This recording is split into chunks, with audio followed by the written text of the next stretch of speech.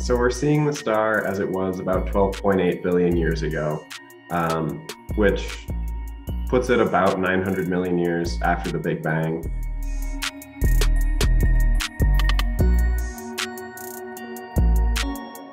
We have been working under the assumption that the light we're seeing is just from one massive star.